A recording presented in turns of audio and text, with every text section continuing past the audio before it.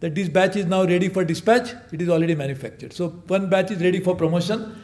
So can we bring about a change in itself by saying that people will definitely be qualifying for promotion because they have put in seniority, but will be subjected to some other vigorous test. And that will bring about one significant change which we are trying to introduce. Second, will be important thing will be how can we bring about some people in the government should be able to go out and work in other sectors.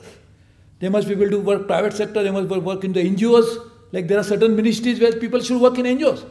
Ministry for Social Welfare. Ministry which actually deals only with NGOs.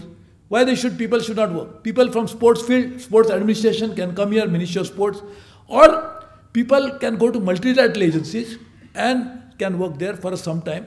And same number of people that go out, we must be able to bring in same number of people from the same sectors back into the government.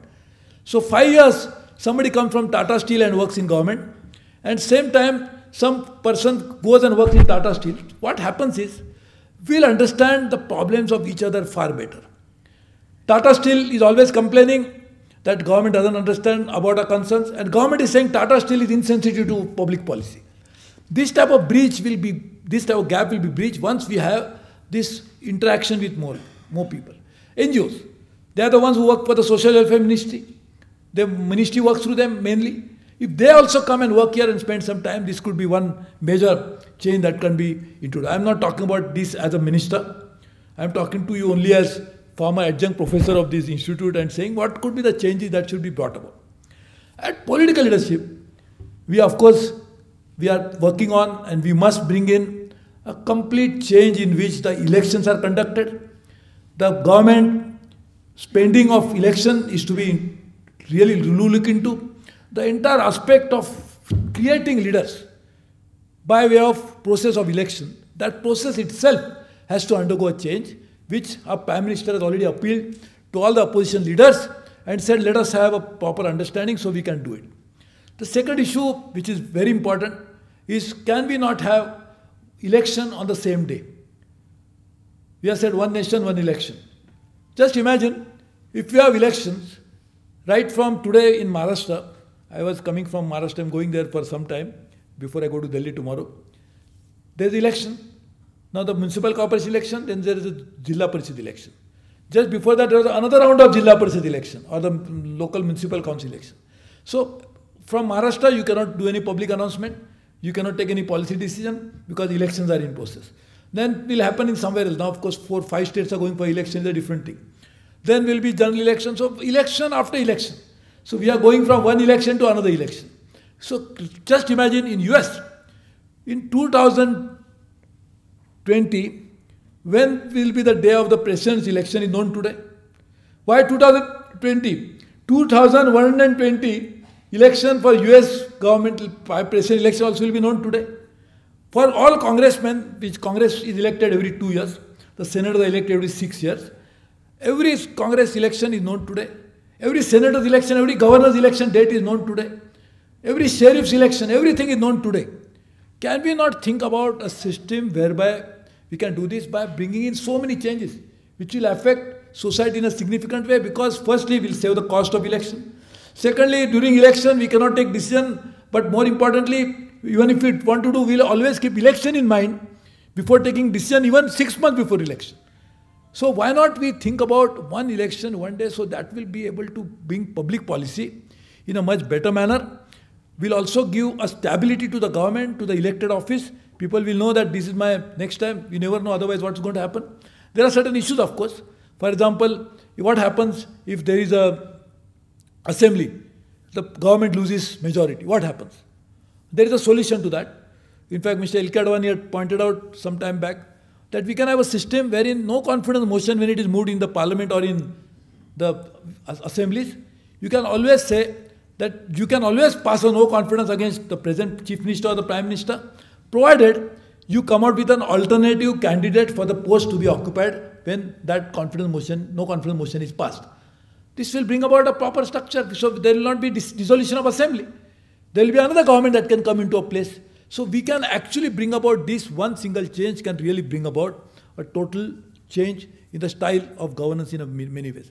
Of course, we are working on governance by making it more transparent. I'll give example of railways. When I was a, became railway minister, we used to spend 30, 40,000 crores a year annually. Last year, we made it 1 lakh crore.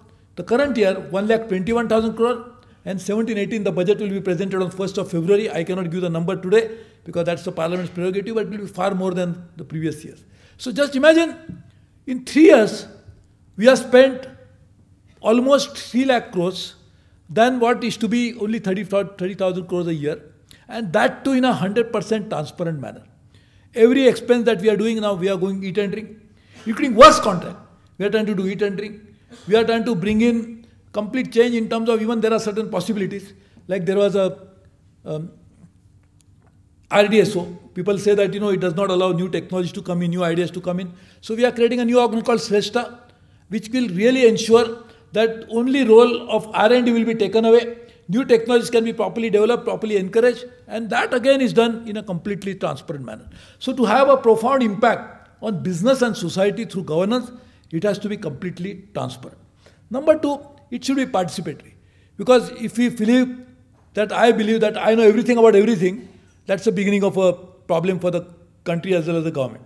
We must admit that there are so many new things happening, so we must have interaction with people to frame a public policy. That's what I did when I was a Minister for Environment and Forest. We were trying to devise a policy, a new legislation called biodiversity law. And the only country which had passed the biodiversity law before us was Costa Rica, very small country with, of course, high biodiversity. And we had signed the biosafety, uh, biodiversity convention. So if you are not passed the law, we are very susceptible to probably biosafety issues and other issues. So we had to pass the law. So what we did was, I called all the NGOs, and there are different kinds of NGOs related to this. There are certain NGOs in biodiversity who believe that human rights are important. So we should not allow people to be taken out, the tribals, etc. There are people who believed that biodiversity is so important that should not be touched at all. So therefore they are the conservationist type of people who believed in that. Then there are people who believed in agro-biodiversity also to be introduced into this. There are many, many opinions. So what we did was, we called all of them, knowing their opinions, knowing the contradiction in each other. Because every person who is going to give an opinion for human right is actually contradicting the contention of the other NGO, which is talking about conservation.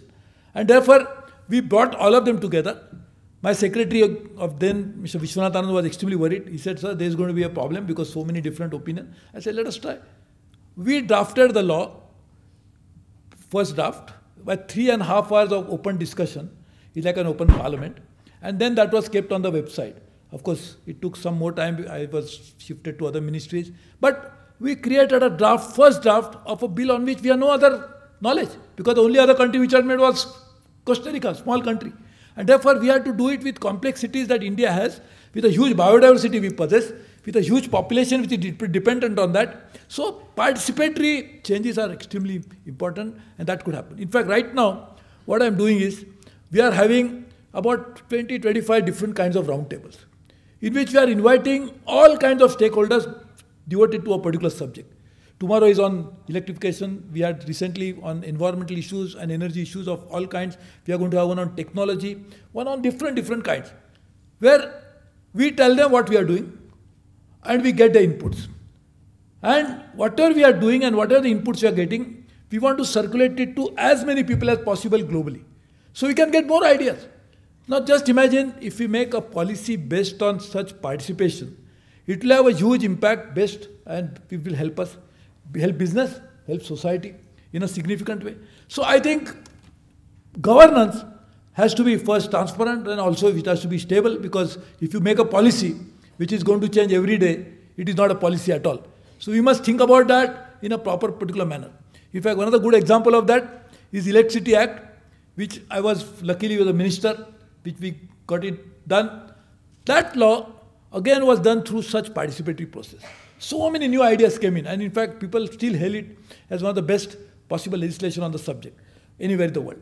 So that is the example of getting, reaching out to people, getting their participation, understanding their concerns, what are the issues that can come in, and think forward and try to change it. So therefore, I think there is no doubt about the fact that governance is the most important issue, which is going to really bring about this transformational change that we are looking at And the transformational change without governance is also difficult because irrespective of the leadership, the business leaders, we have produced one of the finest leaders like Muthuram. We have produced finest technologists and scientists like Dr. Kasturirangan. But if the governance, public governance, will not encourage that leadership to take it to the logical end, what are the potential of that leadership, we will not be able to do the transformation that we want. So what is the transformation? We want to change it beyond recognition. We want to not just change from one end to another like this. It should be one product which is transformed into something so different that it is difficult to recognize it was the same product. The China, I've been there 28, 29 times, not as a minister, of course, now, as a, but I used to go there very often. I used to be on 16 different global organizations, on so many countries, strategic dialogue. I used to go there. First time I went there, there was only bicycles. And now, if, when I go, when I went there two, two and a half, maybe three years ago, there's hardly any bicycle. So that's a change. Of course, I'm not saying good change or bad change, but I'm talking about transformation. A country which had so many poor, and now they can boast of having the highest number of, not billionaires alone, but highest number of rich people. Most of the Chinese can claim to have house. So these are the changes that have happened in one generation. Prime Minister thinks is something which we should try to do, not being about incremental change. And in that context, so many decisions that a Prime Minister, Prime Minister taking should be seen in that context which will have profound impact on both business and society. One, the recent issue of demonetization. It has created some issues, I'm sure, which we'll address. But it is one thing by one sweep we are making sure that all our unaccounted household savings are coming to the system. We need savings. Without savings, you cannot make investment. Otherwise, you'll have to keep borrowing all the time. And even if you borrow, you have to repay it. So for repayment also you need savings. So savings will drive the growth rate. That's how it happened in China. China's saving rate is close to 50%. So we can actually need savings, which will happen. The banking system will have more resources, so obviously they will be able to lend more. They'll be able to spur economic activity in a significant way. Look at other initiative, Make in India. This again will change the way the business is done in India, rather than dependent on imports. In fact, one estimate shows that going by the same trend that was prevailing earlier, we would have been the largest importer of electronics in the world. Largest. So we would have supported the global industry. I don't know, we are talking about gold today as a big challenge, a drain on foreign exchange. The electronics would have become that. So Make in India is another important issue.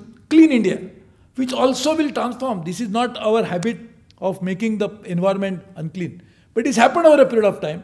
If you don't change it, it is also going to bring down so many economic issues. It is going to bring down the tourist arrivals. It is going to increase the cost of public health. It is going to put more and more resources at, uh, for just to clean what, what has been the mess has been created. So why not we keep it clean rather than first make it unclean and then make it better? So these are the many transformation issues. Digital India. Just imagine the whole world is going to be digital in the next few years' time. It's a great opportunity for India to bring about all these public paradigm shift through digital op operations of all kinds, whether it's governance, whether it's business, whether it is day-to-day -day transaction, this itself will bring about a real transformational change rather than waiting for incremental change that will happen over a period of time and people will change over a long period. So I think it's a great opportunity. I really wish you all the best and I'm sure so many of your particip some of your participants will really be transforming not only themselves but the organizations, but also the country in the process. And we will have then a real change in India, which is what we are looking for. So thank you very much. Congratulations to all of you. Wishing you little belated Happy New Year. Also belated Sankranti. But I had to go and catch my flight. So I'm sorry about it. In fact, the program that we had, uh, we are actually there on time, but because of certain uh, late arrivals, we had to delay it a bit. Otherwise, I could have been here in time to speak to you a little longer. So thank you very much. Congratulations. All the best to you. Because Mr. Suresh Prabhu is, is our adjunct professor. We could first request him and he said yes. Then we also had a right to give a subject to him. And we knew that he is the only one with his vast experience who can do justice. He accepted the subject, and you know, in a scintillating manner and with his vast experience he has covered it. His time is short, so may I request Ms. Sanjana to propose a vote of thanks to Honorable Minister. On behalf of all the participants of the 31st Executive Program, uh, members of the NIAS family, and other distinguished members in the audience, I have the honor of thanking our Honorable Minister, Sri Suresh Prabhu, for giving us a very thought provoking and motivational talk on how government can be an instrument for bringing about transformational change through active participation by involving active participation as well as through task management. I also thank Dr. Baldev for chairing this session. Thank you, everybody.